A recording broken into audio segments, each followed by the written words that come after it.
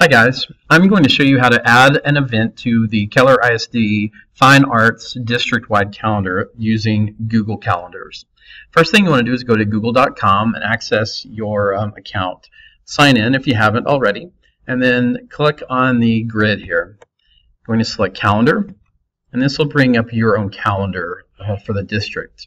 I'm going to click on August 13th at 10 a.m. and it's going to bring up this box.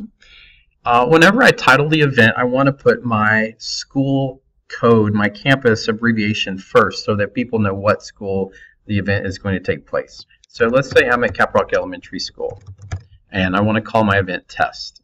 Next thing is very important is that you select the calendar.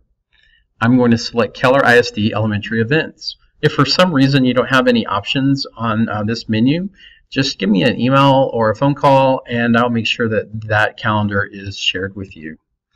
We can select edit event and we can add a location. We can put a description, um, several options here on this screen.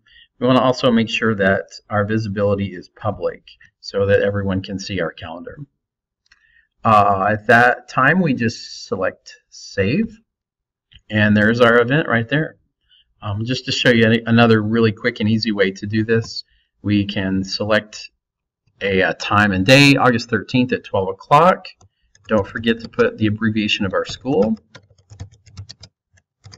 Title the event.